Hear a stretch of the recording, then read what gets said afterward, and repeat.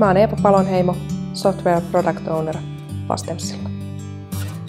Lapsena olin iskän mukana teatterilla, kun iskä työskenteli teatteritekniikan puolella ja näin mitä kaikkia maagisia asioita sillä tekniikalla saatiin luotua sinne.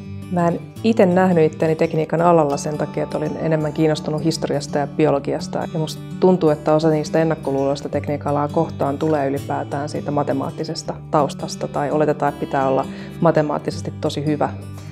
Me täällä Fastemsilla tehdään joustavia automaatiojärjestelmiä muun muassa auto- ja ilmailuteollisuudelle Eli järjestelmä voi olla käynnissä vaikka vuoden ympäri 24-7 ja tuottaa niitä osia teollisuuden tarpeeseen.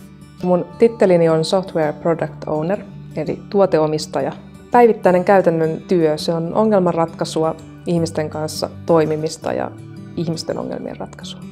Tänään aamupalaverissa pohdittiin, miten ratkaistaan softalla lämpölaajenemisen aiheuttamia ongelmia. Eli kun jossakin maissa on vähän kuumempaa kuin meillä Suomessa ja voi olla aika paljon lämpöisempää illalla kuin aamulla, niin havaittiin, että meidän robotin kisko on vähän eri mittainen aamulla kuin illalla ja yhdessä pohdittiin sitten ratkaisua siihen. Mulle on ollut tässä työssä tosi tärkeää se, että Fastemsin järjestelmällä voidaan vaikuttaa näihin ekologisiin näkökulmiin, eli materiaalin parempaan käyttöön ja kiertotalouteen ja vähän ekologisesti fiksumpaan tuotesuunnitteluun sen automaation avulla. Harrastan vapaa-ajallani kaiken näköisiä taideasioita, näyttelyistä teatteriin ja musiikkiin ja koen, että tällä alalla tarvii sitä luovuutta ja tarvii taiteellisuutta siinä ongelmanratkaisussa.